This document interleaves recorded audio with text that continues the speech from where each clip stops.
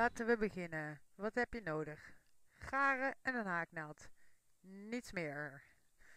Ik heb al een paar foto's voorop geplaatst van hoe het eruit ziet. Ik heb twee soorten geplaatst, dus een cozy sweater met een winteruitstraling en een cozy sweater met een beach cover-up uitstraling. Dus voor de zomer. Het ligt dus geheel aan welke garen je gebruikt en welke stijl je wilt creëren. We gaan beginnen met de beach cover-up. Het is hetzelfde patroon als de wintertrui. Je kunt het dus geheel aanpassen naar eigen smaak. Deze garen geeft aan dat het 5 tot 6 mm haaknaald is. Alleen, ik ga met een 10 mm haken. Dit geeft het lekkere luchtige effect van de beach cover-up. Laten we beginnen. Dit is hetzelfde patroon, alleen voor een meer casual oversized stijl moet je de trui veel breder maken dan je normaal zou doen. Dus voor deze trui heb je een voorpand en een rugpand nodig. Het voorpaneltje zal 5 cm wijder zijn dan het rugpand. Dus je meet jezelf op en bijvoorbeeld je 80 cm omvang hebt, dan wordt het 40-40. Dan haal je 5 cm van de rugpand af en die doe je bij het voorpand erbij. Dus je krijgt je 75 cm rugpand en uh, eh, 85 voorpand. Dus rugpand 75 cm en rugpand 85 cm. Dat is de manier waarop je deze trui gaat maken. We gaan gelijk beginnen met een basisketting van stokjes. Waarom? Hierdoor zorgt het ervoor dat de boord onderaan niet gaat krimpen. Wat je doet, je steekt je haaknaald onder het garen en je draait je naald om het werk heen. Dan pak je de draad op en haal je door je lus heen. Nu heb je één lus, trek je goed aan, dan zit hij vast en gaat hij nergens meer heen. Nu gaan we beginnen met drie losse. Dus dit is nummer 1. Haak het niet te strak. Dus nummer 2 en nummer 3. Nu, draad om de naald. Ga je terug naar de eerste lus die je gemaakt hebt. Niet de losse die je strak hebt getrokken, maar die daarna. Dan steek je haaknaald onder twee lussen door. Hier, twee lussen. Pak je draad op en die haal je door. Nu, niet te strak doen, laat het lekker losjes. Nu, haal draad om de naald en eerst er één lus halen. Hou goed vast, draad om de naald, door twee lussen. Weer draad om de naald en door twee lussen. Nu heb je twee stokjes, basisstokjes bovenop elkaar. Nu gaan we de tweede, derde doen. Draad om de naald en heb je hier het veetje dat je één keer los doorhalen en ga je onder de twee lussen door met je haaknaald. Daar ga je onderdoor. Hier. Zo dus. Onder twee lussen door. Dan pak je draad op en haal je door. Losjes laten, niet te strak. Hou hem vast, draad om de naald. Eerst door één lus. Die steek hou je vast, draad om de naald. Door twee lussen draad om de naald door twee lussen. Dan heb je drie stokjes bovenop elkaar. Dan gaan we nog een keer. Draad om de naald. Hier is het veetje. Daar gaan we onder de twee lussen door met de haaknaald. Zo, kijk. 1, 2 lussen. Hier zijn ze. Draad om de naald. Ophalen. Losjes laten, niet te strak. Draad om de naald. Houd vast daar. Doorhalen één keer. Die vasthouden, draad om de naald. Door twee lussen, draad om de naald, door twee lussen. Dan heb je vier stokjes bovenop elkaar. Nu ga je door op deze manier tot je de breedte hebt wat je hebt opgemeten. Hier is die weer. Donderdoor. Hier zijn weer twee lusjes. Draad om de naald. Ophalen losjes laten, draad om de naald, door één lus. Die steek hou je vast. Draad om de naald. Door twee lussen. Draad om de naald. Door twee lussen. Nu heb ik vijf stokjes bovenop elkaar. 1, 2, 3, 4, 5. Zo ga je door tot je de breedte hebt die je hebt opgemeten. Voor het voorpandje ga je eerst beginnen. Zo, ik heb voor deze tutorial maar 10 stokjes opgehaakt. Meer hoef ik niet te doen, want het is maar om te laten zien hoe de steken moeten. We gaan beginnen met een losse om te keren. Hier is de losse. Hoppa. Zo. Dan draai ik mijn werk en direct in diezelfde steek daaronder maak ik mijn halve stokje. Op deze manier krijg je geen gaatjes aan de zijkant van je werk. Hier. Dat is een mooi gesloten randje straks. Ik zal je laten zien wat er gebeurt als je het niet doet. Voor een stokje heb ik dus nog twee extra losse erbij nodig en voor een half stokje maar één, dus twee losse. En dan start je direct met je relief stokje voor. Kijk, nu krijg je een gat. En daardoor zal je het werk niet mooi afgewerkt zijn aan de zijkant. Dus vandaar dat ik altijd een, een losse maak, het werk draai en direct een half stokje in de eerste maak. Zo, hier een half stokje. Zorg ervoor dat je het niet te strak haakt. Gewoon lekker losjes haken. Hier is mijn eerste steek. En daar ga ik mijn stokje voor maken. Dus draad om de naald, steek van voor. Dus tussen de twee steken. Van voor naar achter en om het stokje terug naar voren. Zo, draad om de naald en dan haal je haaknaald achter het stokje langs. Zorg ervoor dat het bekje naar beneden wijst. Hier heb ik hem. Is hij er achterlangs? Draad om de naald, door twee lussen. Draad om de naald, door twee lussen. Heb mijn reliefstokje voorgemaakt. Nu een reliefstokje achter. Dat is hetzelfde principe, alleen ga je van achter. Ga je van achter naar voren, om het stokje heen en dan steek je haaknaald weer achter deze stok langs naar achter draad oppakken, haaknaald bekje naar beneden en ophalen.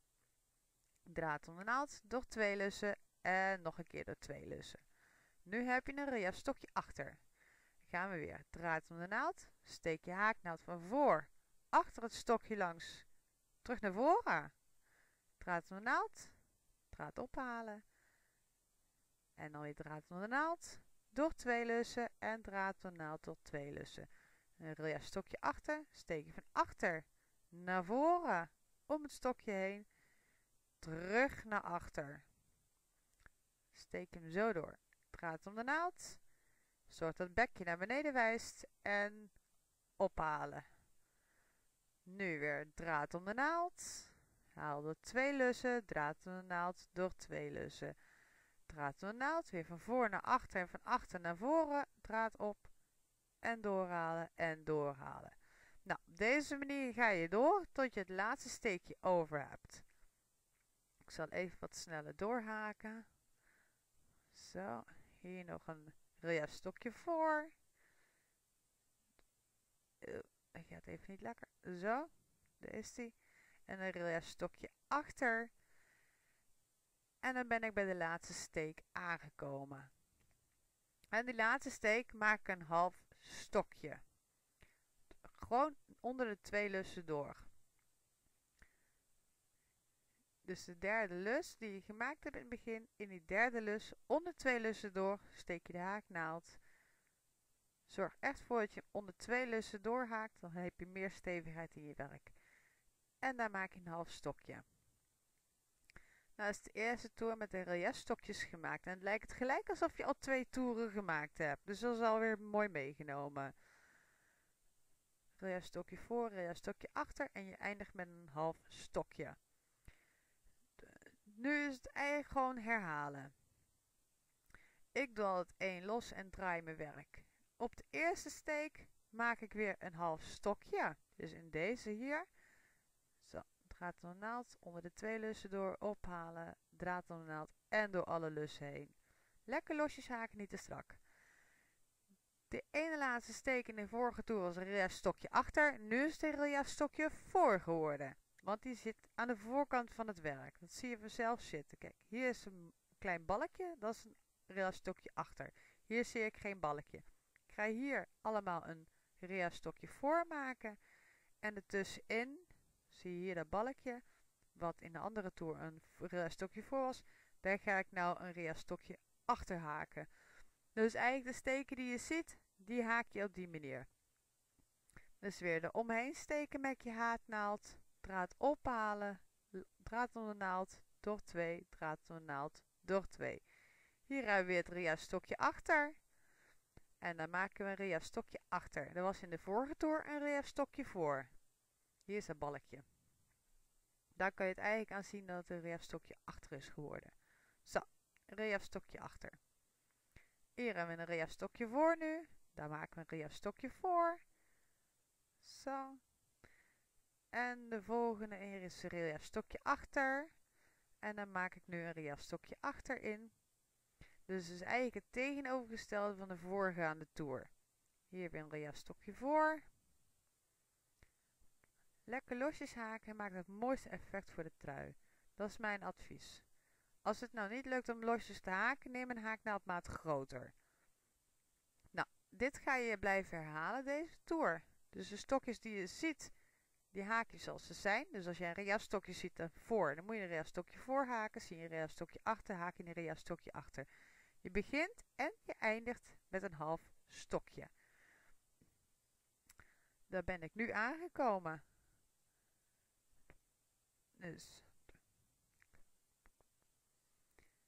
Ga dit lekker doorhaken tot hoeveel toeren jij wilt. Hier is mijn laatste steek. Daar maak ik nog mijn halve stokje in. Uh, als je een losse haakt en je keert je werk, is die keerlosse het steekje, is plekje waar je het laatste halve stokje in haakt. Zorg ervoor wel dat je onder twee lussen doorgaat om zo een mooi strak geheel te blijven behouden. Zo dus. Dan zul je zien dat dit straks mooi strak door gaat lopen en dat willen we hebben. Maak het ook makkelijker straks met het geheel in elkaar maken. Hier ook idem. Nou, dit ga je blijven herhalen tot het aantal toeren dat jij graag wilt. Het kan 6 toeren zijn, 7 toeren, 8 toeren, moet je zelf even bepalen. En dan gaan we beginnen met de patroon voor de body te haken. En daarna gaan we het in elkaar zetten en de mouwen maken.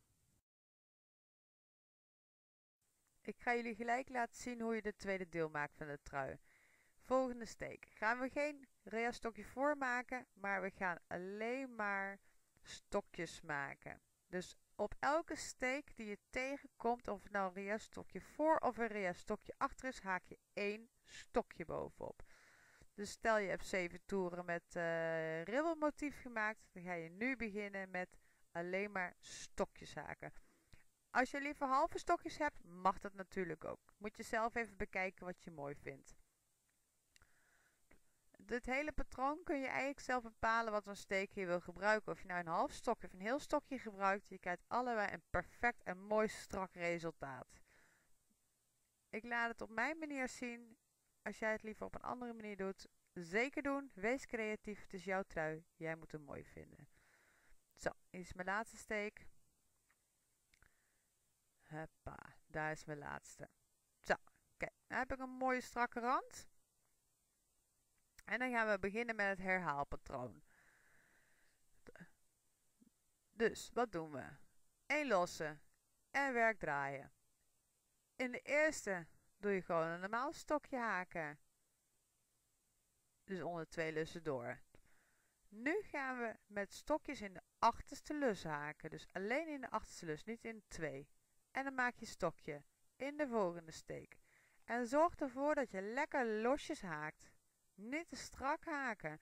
Als je nou voor jezelf een strakke haakster bent of een haker bent, neem een haaknaaldmaat groter. Het moet lekker losjes blijven. Dat maakt deze trui echt enorm mooi.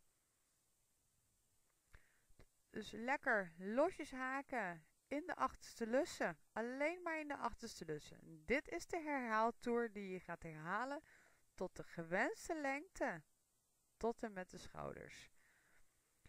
Alleen de eerste en de laatste steek die haak je onder twee lussen door.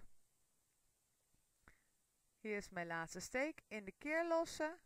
Dus onder twee lussen doorsteken, draad ophalen en daar maak je het stokje in. Dus alleen in de eerste en in de laatste steek haak je een stokje onder twee lussen door. En alle steken tussenin haak je in de achterste lus. We doen nog een rij. 1 losse en werk draaien. Eerste steek weer onder twee losse door. Daar maak je een normaal stokje onder. Op, sorry. Hier. En dan alle volgende stok steekjes maak je in de achterste lussen. Alleen in de achterste lussen maak je stokjes. Ik zal even een beetje tempo maken, dat het snel klaar is. Allemaal in de achterste lus. Je ziet dat ik de steek eigenlijk met mijn vinger vasthoud, zodat die steek een beetje meer in zijn geheel blijft, want door de grote naald worden de lussen groter. Het zal aan het einde van de rit zullen die lussen zich gelijk trekken, zie je niks meer van. Maar om te haken is het gewoon prettig om even die lus vast te houden. Dat geeft je wat meer body op je haaknaald. Dus wat meer, uh, ja, sterkte te geven voor je haaknaald. Nou, hier de ene laatste. En weer de laatste steek. Dus die keer lossen. Ga je weer onder twee lussen door. En daar maak je het laatste stokje. Volgende toer, 1 losse, werk draaien en weer in de eerste steek weer een stokje maken onder twee lussen door. Hier is die. En de volgende steken weer in de achterste lussen maak je allemaal stokjes. Nogmaals, als jij liever met halve stokjes werkt, mag je dat zeker doen. Het is jouw trui en jij moet hem mooi vinden. Ik ben wel zeer benieuwd naar jullie creaties, dus heel graag de foto's naar de Facebookpagina. Link staat in de informatiebox hieronder. Deze toeren ga je blijven herhalen tot op de schouder. En dat ga je tevens herhalen voor het rugpand. Dus noteer voor jezelf hoeveel toeren jij voor de ribbel hebt gedaan. Daarna één toer gewone stokjes. En daarna noteer jij hoeveel toeren met stokjes in de achterste lussen je gemaakt hebt zodat je later niet meer hoeft na te tellen. Ga lekker haken en dan gaan we straks beginnen met het geel in elkaar zetten en de mouwen maken. Tot zo!